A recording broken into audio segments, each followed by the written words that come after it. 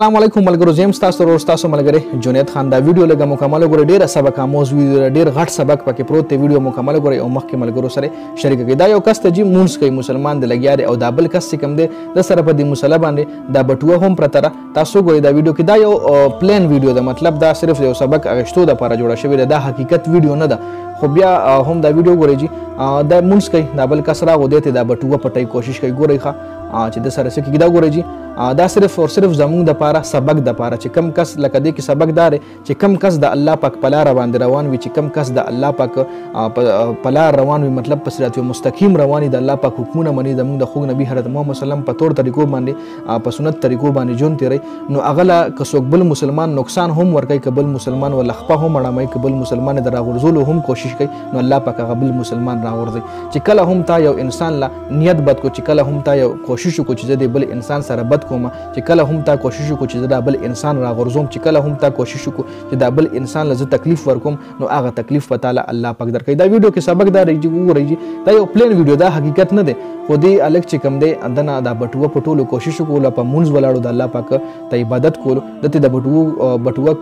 په ټولو کوشش وکړو دا غلا سونه کاګو شو دا حقیقت ویډیو نه ده لکه دینه مخکې هم ما داسې یو ویډیو جوړه کړې و نو هغه خلکو بیا وی چې دا حقیقت دی کنه لکه نو دا حقیقت نه دا صرف یو پلانینګ دی صرف مونږ له خی مونږ له د سبق د پاره په تور سبق په تور باندې خی چې کله یو انسان لته نقصان ورکې او هغه په خلا روان وي د الله پاک نیک بنده یې ته غل نقصان ورکې نو الله پاک پتا نقصان درکې دا وګورئ جی یو ځل در سره دوباره پلی کوم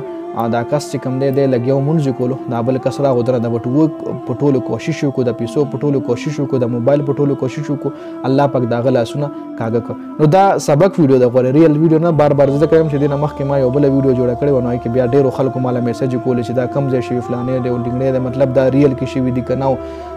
دا سسنګ کې دی شی نو ځکه دا صرف